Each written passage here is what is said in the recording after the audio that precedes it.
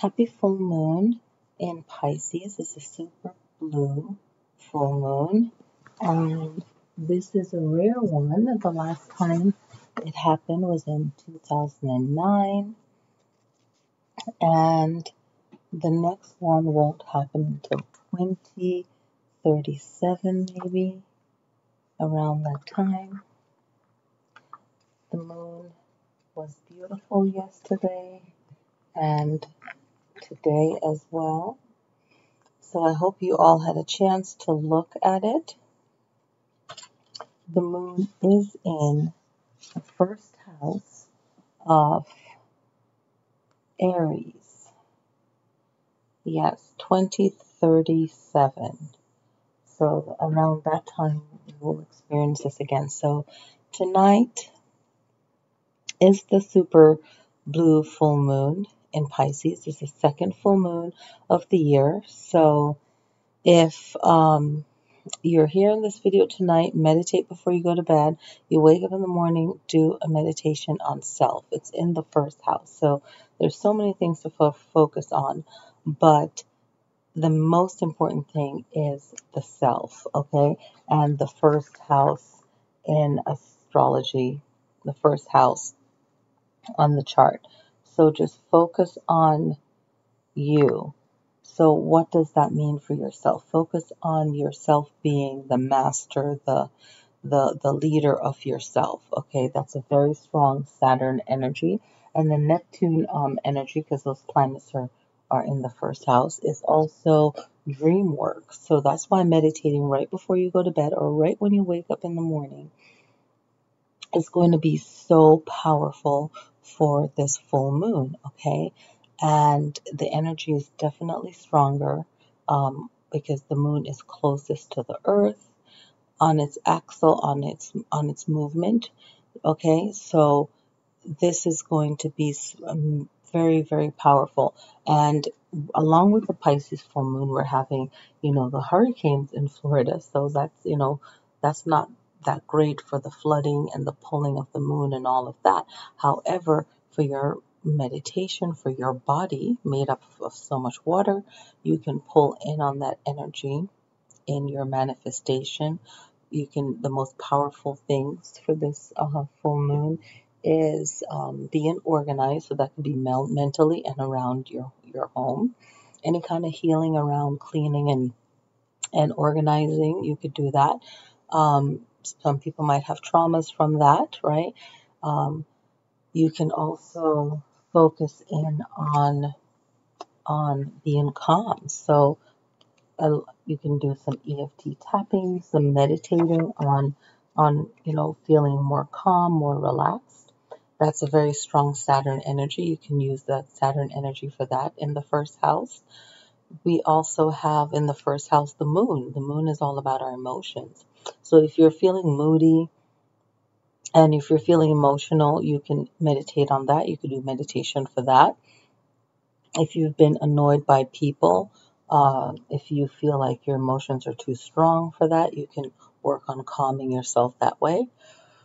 Neptune in the first house doesn't focus inward, it focuses outward on socializing, connecting with others. So you can do a positive meditation in how you communicate with others. So you might do um, a, a visualization of seeing yourself communicating well with someone and and or keeping your distance like a protective shield from that person so you can use Neptune meditation in that. We have eight planets in retrograde, including Chiron and the South and North nodes. So you can definitely do a meditation on your past life, your future self. You you can see any any kind of blockages that were preventing you.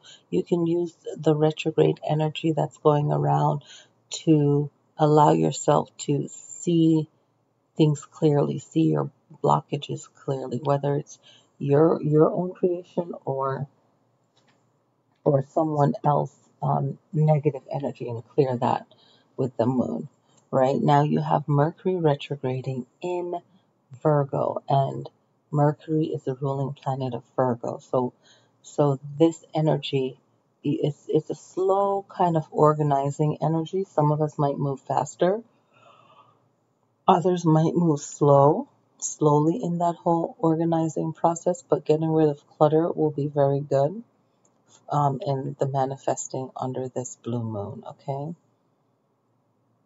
So even if you feel like you're too tired to do candle work or or um, candle um, meditation or whatever meditation you're doing, the best meditation really is of the mind, of um, dream state, right? So the dream right before you're going to take a nap or you're going to sleep or right when you wake up, you can just, your body is still relaxed. So definitely meditate at night and in the morning. Okay? And if you're hearing this in the morning, then meditate that next night as well. Okay? So that's the main message for this blue moon. Move the body, stretch the body, get the body really relaxed. It's in Pisces, and Pisces rules over the feet, the legs, and the pineal gland. So if you're feeling extra tired, being very gentle with your feet would be good. Stretching the legs would be good. I did that a lot in yoga class tonight. Um, there's also the pineal gland, so um, deep meditation, okay? Uh, the meditation would be on self, so feeling confident in yourself. The first house is all about our appearance and caring about yourself, putting yourself first.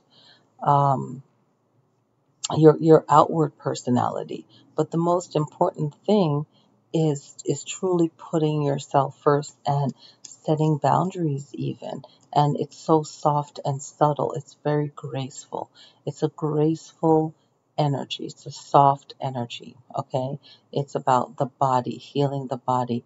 Also new beginnings a new beginning for yourself. What do you want that is new for you right? And it's like you are creating your new self a new um, way of expressing yourself a new way of like when you're meeting this new self of yours, this new um, creation of you is also the true you. So this blue moon can be getting back to your true self, right? So it's first impressions. It is your attitude towards yourself. So reaffirming and positive affirmation regarding yourself will be powerful right so just knowing yourself and and then how are you thinking of yourself will affect how you approach your life right so the first house is very much about what the outside is but truly the outside is a reflection of the inside so it's it's the house ruled by aries so it's giving you that power but also that softness of pisces energy all right. So definitely get your mind relaxed, get your body relaxed, stretching the feet, moving the legs. Um, be very gentle with the legs, the toes around this time. Any sign that the moon is in, you want to be gentle to the body, body parts that it's governed.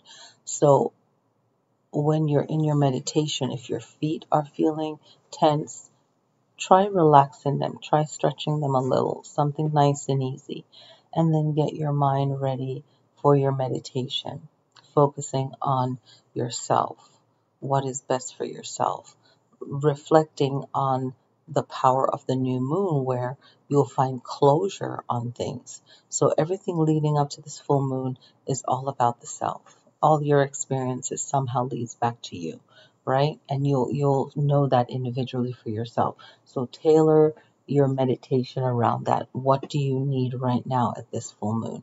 And put it into a dream work where you're visualizing, seeing that happen. And it's like you're putting yourself to sleep in the dream, in the reality that you want, in the dream, in the reality that you want, based on your visualization. So make it something positive and good, the solution. All right, so I hope that works for you guys and I hope to see you all on this page. and if you're local, then in classes. So happy super blue full moon in Pisces.